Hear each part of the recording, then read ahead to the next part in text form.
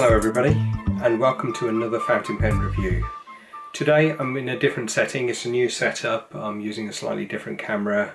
For anyone who's seen my previous videos they'll realise that I was using a vlogging camera which had a, quite a wide angle and uh, somewhat distorted uh, the images of the pen. So I'm trying with a different camera today so hopefully the uh, video quality and the sound quality should be better. Please do let me know uh, what you think down below in the comments. Okay, so today I'm going to uh, bring to you a review of a pen that, um, or uh, a, a, pen series that a lot of you have seen or seen reviews of, but I haven't really seen um, any actually reviews on, on YouTube, uh, uh, video reviews of this particular model of it. And the pen is um, a Kaweco, Kaweco Sport. Most of you will recognise the uh, packaging, grey outer sleeve, and then the uh, classic tin here. I won't go into detail of the tin, uh, you may have seen many videos with the tin, uh, but quite a retro looking tin. And the pen I bought from uh, Frank at uh, Fonto Plumo Pens uh, in the Netherlands and uh, really had a great service. I ordered the pens a couple of weeks ago. He didn't have them in stock, but um, he kept me uh, he kept me posted uh, on uh, on when they were going to arrive, when they were shipped. Uh, really good service. So the pen I, I bought uh, was a Kaweco Sport. Uh, you've seen me do a review on the AL, and there's lots of other. Um, the stonewashed AL, sorry, but there's lots of other reviews on the classic, the um, the sport, crystal clear coloured versions. So quite a lot of reviews. But this one is and it comes in a little plastic bag is the Kaweco brass. So um, if I can get the camera to focus I'm struggling. Here we go. So it's the same shape but a brass pen much heavier than uh, the previous ones. Uh, uh, just take you round round the pen. Um, so as many of you may know this pen comes without a clip. Again without a clip and it's a hexagonal shape. That's the the cap element there. The finial at the top has the uh, familiar if I can get it to focus I'm not going to get it to focus here we are. The familiar Kaweco logo in silver okay? And nothing at the other end. Again trying to get it to focus. Just a rounded machined end. And then the top of the barrel if I can get it to focus. I'm not sure how clearly you can see that but there is a little step down so the barrel isn't cylindrical all the way to the top. And even in the plastic versions there is a slight lip there um, on the barrel probably not as prominent as you can see on the metal versions of the pen. Uh, the pen that I've got is a medium nib and it's a steel nib on this one. And um, most or all the Kaweco pens I've used, the Kaweco Sports, I've either got uh, medium or uh, fine. I've found them to be extremely smooth. It's a cartridge uh, pen, cartridge converter, but the converter that you can buy, you can buy a Kaweco one which is very very short.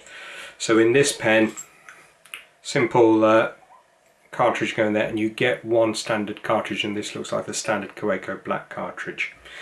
Okay, so just um, go through a couple of um, stats on the pen. Uh, the pen itself is uh, uh, 47 grams compared to um, if you look at the plastic and this is with the clip the plastic uh, clear classic uh, sport. Here really struggling to focus here. Apologies for this. It's not going to do it sorry uh, but a plastic clear sport as I have here is with the clip only 11 grams and then the pen which I reviewed recently with the clip which is the AL Sport stone washed is 22 grams so you can see that the brass one is uh, considerably heavier at uh, 47 grams. It does feel nice though.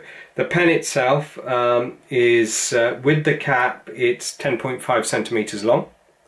Uh, posted, it's 13.5, so it makes for quite a decent size for writing. And the section is uh, is really quite nice. I quite like the sections on the uh. They slightly flare out. Again, if I can get it to focus, you can probably see. There we go. Uh, you can see that it slightly flares out at the bottom, so your fingers nice and comfortable in on that section. Um, and also the uh, the diameter of the pen is uh, 1.4 centimeters. Um, so it's quite a quite a decent sized pen when it's capped.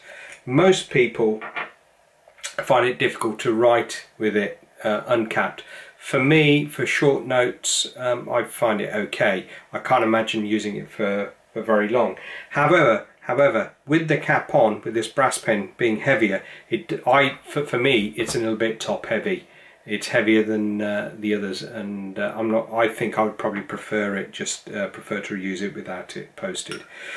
Um, so the pen itself uh, doesn't come with a clip, but I did buy a clip from Frank as well, and I went for um, the the antique copper clip rather than the silver one. Now I'm not sure how that will go, um, but uh, let's just try on the pen. And actually, I don't mind it. I think it looks quite nice. That sort of copper and brass finish. Um, I have seen some photos with the uh, with the silver clip, the the sort of iridium plated or the sorry the the chrome plated uh, clips with the antique finish, uh, and they look quite nice as well because of the the the uh, the logo being in that colour and the nib as well. But this doesn't look too bad. I think I could probably uh, live with that. I think it looks quite nice. Okay, so that's the pen. Um, I, I really do like uh, the, the size of these pens and I, actually I, I thought that it may have been a little bit too heavy to use but it isn't too bad. I haven't used it yet, I'm going to uh, ink it up and do a writing sample now and I'll possibly use it for the, for coming weeks and just see how I get on with it.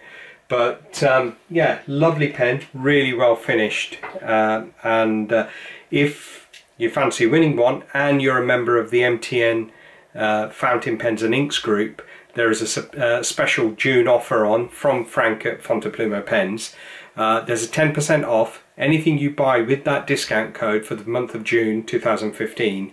Uh, you get put into a free prize draw to win one of these. So if you're a member, go on, uh, have a go. a lovely, lovely pen. So I'm going to ink it up now, and uh, I'm going to actually use um, some Kaweco, Kaweco um, silver, uh, sorry, um, Kaweco sepia ink. I bought this a while ago and I haven't tried it out so uh, because they're cartridges will be ideal because I don't have a, a, converter for these these pens. I know some people refill car, uh, empty cartridges with ink of their choice but I thought I'd give this uh, this ink a go. So I'll catch you in a few moments with a uh, writing sample. Okay. So welcome back. Um, just adjusted the camera so you get a better view of the writing sample. Um, the paper I'm going to use is the Kaweco dot dash card um, and I'm going to use, as I said earlier, the Kaweco sepia or uh, caramel brown ink. So I've uh, put the cartridge in and primed it and this is the first time I'll be using this pen. So this is the uh, Kaweco brass with medium nib. And it's quite smooth on this paper. Um, I have used this card before with other pens and uh, I feel it, it, it it feels as if it's slightly absorbent but it isn't you know it isn't feathering or um, uh, bleeding through. Um, but the pen feels fine on here. Um, it's a nice medium medium writer. It's it's as I've uh, had other Kaweco pens. Um, you get you can squeeze a little bit of line variation out. Here you go without any pressure with some pressure but I wouldn't want to give any more than that. It is a steel nib. It is uh, uh, it is quite hard. So um, you know if you you can get a little bit of line variation from it but not much um, see what the flow is like um, some of this is obviously the property of the paper as well. As I said, it feels quite absorbent, so the ink dries fairly quickly. But what I have found with my uh, previously that they are generally quite uh, dry. Uh, but I've not really had a problem with the flow on them. So I hope you like this review and um, like the pen as well. Please let me know uh, what you think and uh, I'll catch you soon. Thank you very much.